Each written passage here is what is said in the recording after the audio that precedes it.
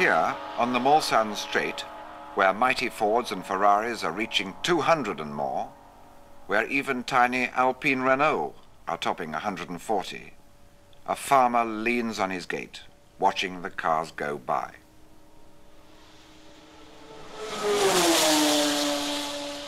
He has seen 30 races past this gate, from the days of the Bentleys back in the 20s, when the drivers stayed in the local cafe up the road. Has the race changed much since those days? Yes. Now they make him move the cattle out of this field in case they stray onto the road. Nothing else?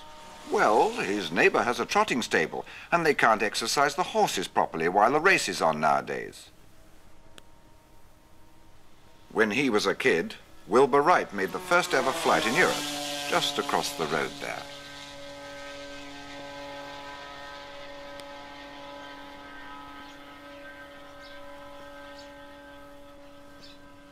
In a brief moment of silence, the farmer's dog barks accusingly from the farmhouse, calling his master back to an evening meal.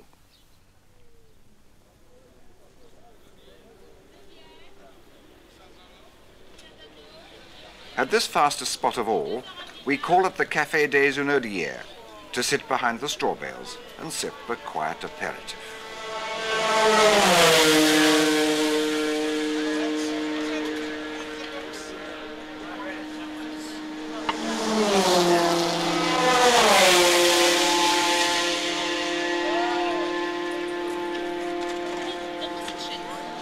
Alors, la même chose, s'il vous plaît.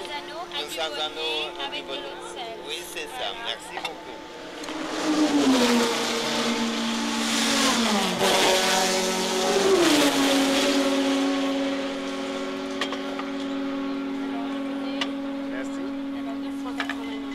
Merci. Merci.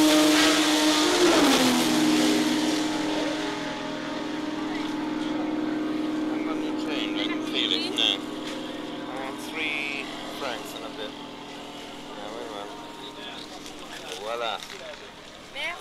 Merci.